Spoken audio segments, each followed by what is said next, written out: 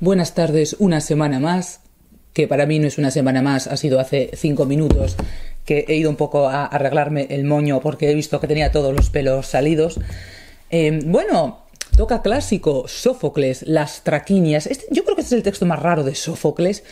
Aquí vamos a, a asistir a la muerte de Heracles. Eh, bueno, Heracles, después de una larguísima ausencia, regresa con su esposa Deyanira y Deyanira, sin pretenderlo y para volver a reconquistar su amor, pues le mata. Personajes de la obra. Deyanira, que es hermana de Meleagro, el del jabalí, Hilo, hijo de Deyanira y de Heracles, una haya, cor de muchachas de Traquis, las traquinias. Un mensajero. Licas. Licas es el, mensajero, el portavoz de Heracles. Los dos mensajeros famosos de, la, de la historia del mito van a ser Licas y Taltibio. Taltibio creo que es el de Agamenón o el de Menelao. Yole, la joven Yole, amante de Heracles y desencadenante involuntaria de todo esto. Un anciano y Heracles. A ver. Bueno, en la introducción de Yanira se queja de que su esposo falta desde hace más de un año. Entra Hilo, el joven Hilo, dice de Yanira, Hilo, hijo de mis entrañas, mozo mío.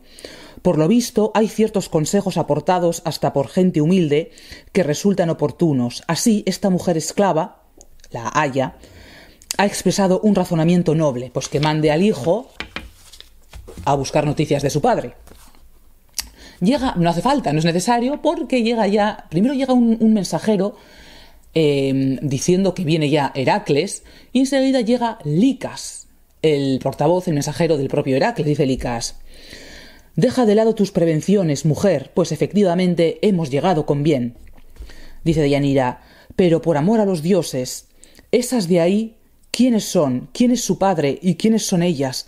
Te lo pregunto porque merecen compasión, porque Licas llega acompañado de las de las doncellas que como botín de guerra ha traído Heracles y una de ellas es Yole, que es su amante, y Licas se hace el tonto, diciendo no, no, si yo no sé nada, nada, son unas esclavas, lo sabe todo. Dice Licas, esas son las que él, al destruir la ciudad de Eurito, se reservó para sí y para los dioses en concepto de ganancia particular, pero bien se calla de decir todo lo que hay detrás. El hecho es que pasó, según refiere él mismo, es por, eh, ¿por qué faltaba, por qué estaba faltando Heracles de, su, de su propia casa? Eh, pasó un año, como dijo él mismo, vendido a Ónfale, mujer extranjera, y tal desazón sintió por recibir esta afrenta, que comprometiéndose consigo mismo, juró, poniendo por testigos a todos los dioses, que algún día había de reducir a la esclavitud al causante inmediato de ese descalabro, pero era mentira. Atacó la ciudad para, para secuestrar a Yole, no para vengarse de haber sido esclavo. Eurito era el único responsable de aquel descalabro. Hijo de Eurito, Ífito llegó a la cuesta de Tirinte siguiendo la pista a unos caballos que se le habían escapado. En esa ocasión, mientras Ífito, este, mírenle al pobre Ífito, mientras Ífito estaba mirando a una cosa y pensando en otra, este, me recordó tanto a mí, siempre con la cabeza en las nubes, eh, Ífito estaba mirando una cosa y pensando en otra, Heracles lo arrojó desde lo más alto de la explanada repleta de torreones. A causa de este crimen se enfadó con él el soberano, el padre del mundo, Zeus olímpico, y en represalia lo puso en venta. Dice Deyanira, Digo esto porque a mí, queridas amigas, me entró una enorme compasión al ver a estas desventuradas en un país extraño, errantes, sin casa y sin padres, las que antes nacieron quizá de hombres libres y sin embargo en el momento presente llevan una vida de esclavas. Dirigiéndose a Yole. Tú, joven desventurada, ¿quién eres? Deyanira es una, es una buena mujer, luego resulta ser un poco tonta, pero es una buena mujer, muy de nobles sentimientos, quiere acoger a las esclavas.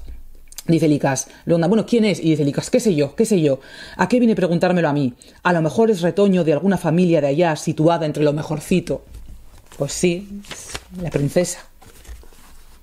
Bueno, y ahora llega el mensajero que ha llegado antes que Licas y que sí sabe lo que está pasando porque se lo ha oído al pobre, al propio Licas, que dice, quieta, aquí primero un momento, para que, bueno, Licas se ha marchado, quieta, aquí primero un momento, para que, lejos de estos individuos, sepas qué gentes son estas que estás introduciendo en tu casa y te enteres también de lo que te tienes que enterar, de cosas que ni por asomo han llegado a tus oídos.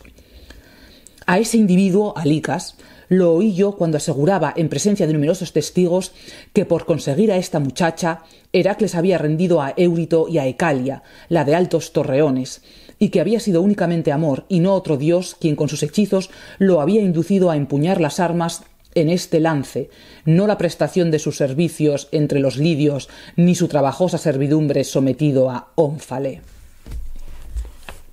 Y aquí te pone que como no, no, conseguía convencer al padre de que le entregara a la hija, pues arrasó la ciudad. Mm-hmm. Dice de Yanira, ay, ay, pobre de mí, ¿en, qué trance estoy metida? Eh, ah, qué peste, he dado cobijo en mi casa. Dice el mensajero, y bien brillante que es por el lustre que se deriva tanto de su nombre como, como de, su física, de su físico, pues es hija de Eurito y se llama Yole, según decía este individuo cuyo linaje ni una sola vez mencionó. Claro, porque a él no le gusta hacer averiguaciones de nada, lo dice como con retintín. Claro, a él no le gusta hacer averiguaciones de nada. Cuando lo, sabía todo, sigue el mensajero. ¡Eh, tú, mira aquí! le dice a Licas. ¿A quién te crees que estás hablando? Esto me encanta cuando pasa esto. A ver, el mensajero es un hombre del pueblo, es un hombre humilde. Licas tiene cierta categoría, pues se enganchan aquí. Dice Licas, ¿y tú para qué me preguntas eso? Dice el, mensajero, si no eres tonto, ten la valentía de responder a lo que te estoy preguntando. Dice Licas, estoy hablando.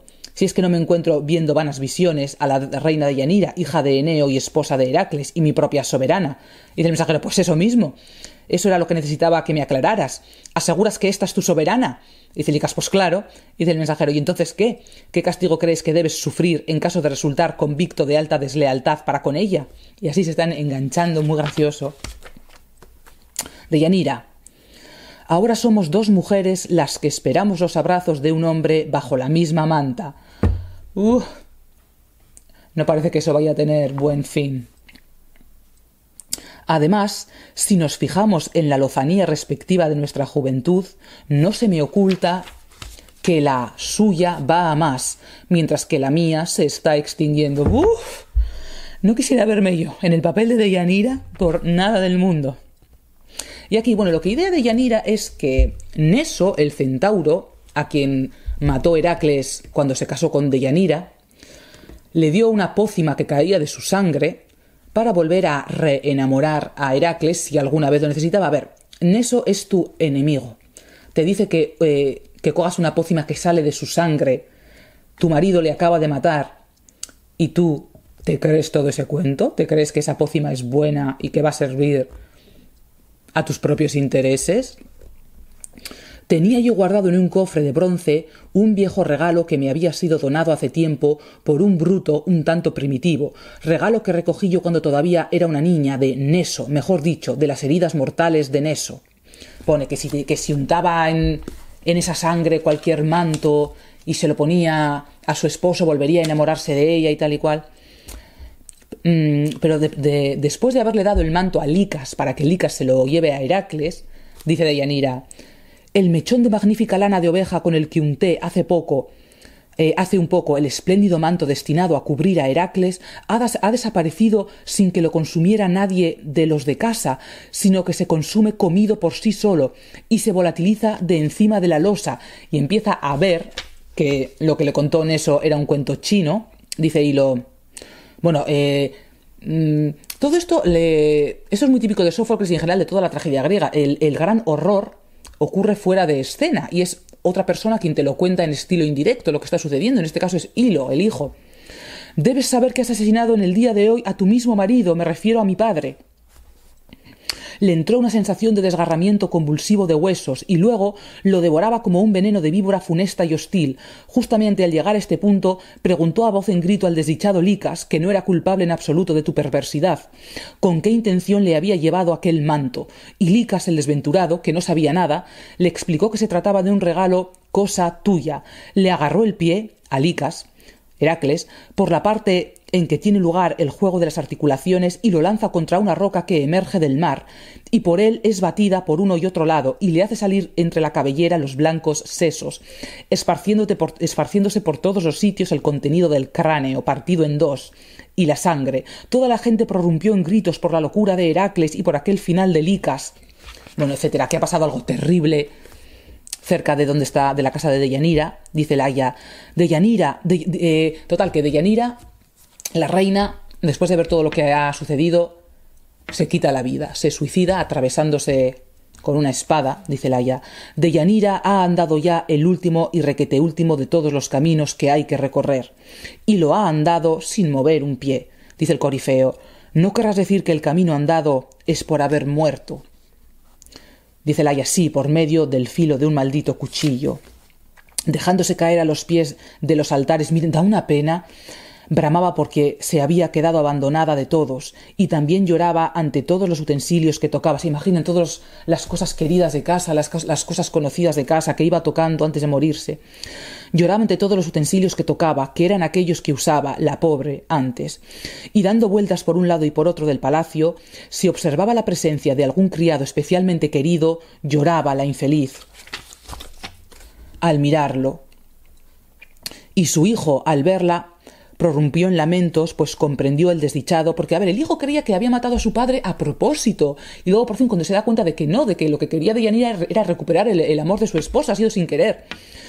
Eh, el hijo prorrumpió en lamentos, pues comprendió el desdichado que por su enojo había llevado a cabo esta acción, al ser informado por los de casa demasiado tarde de que lo había hecho sin querer, engañada por la bestia salvaje. Mm, mm. Dice Hilo. Eh, erró, ahora se da cuenta de que, de que su madre era inocente, dice, erró al anhelar una cosa buena. Es que erró su objetivo cuando confiaba aplicarte un embrujo de amor al ver a la novia dentro de casa. A ver, eh, sale Heracles muriéndose, desgarrándose, eh, la capa le está quemando y sale hablando con Hilo Neso, el centauro, logró persuadirla. Dice Heracles, ay, ay, triste de mí, ya estoy, pobre de mí, en el otro mundo, estoy acabado. Eh, dice Hilo, ay de mí, según los indicios que ofreces, pronto dirás unas barbaridades tan monstruosas como tu locura. A ver, se está muriendo su propio padre, pero no crean que se corta un pelo, porque Heracles le dice a Hilo que tiene que casarse con Yole, y, lo se horroriza y dice, no, quiero casarme con esa esclava que has traído, que, no quiero casarme, de que, encima ya has estado tú con ella. Bueno, muy gracioso. Dice Heracles, es que tú me soliviantas y me remueves el mal que se había adormecido. A ver, eh, las, las escenas, los fragmentos en las que sale Heracles gritando, saltando, brincando por el dolor que le produce, porque se está quemando vivo, que son como muy llamativas. Creía que tenía alguna destacada, pues no la he destacado, o sí, y no, no la he visto subrayada. Dice Hilo, respecto a los dioses, ved que se han desentendido por completo de lo que está ocurriendo, ellos que, después de haberle dado el ser y de ser honrados con el nombre de padres, son capaces de observar sucesos como estos sin inmutarse. Y al final termina el coro diciendo, en todo esto no hay nada en lo que no ande Zeus de por medio. Bueno, y así muere el gran héroe Heracles, consumido en el fuego por el manto que le, ha traído, que le ha traído su, su esposa. Este texto no crean que... A ver, lo que sí, eh, lo que se ve claramente en este texto es, por ejemplo, que el papel del coro ya no es tal. El coro simplemente canta y baila y... Pero está, es algo como... Empieza a ser algo ajeno al propio texto. No es como los coros de Esquilo, que eran como otro personaje más y era graciosísimo, era como un personaje colectivo. Aquí el coro queda un poco como separado de la acción. Bueno, y sin más, hasta la semana que viene.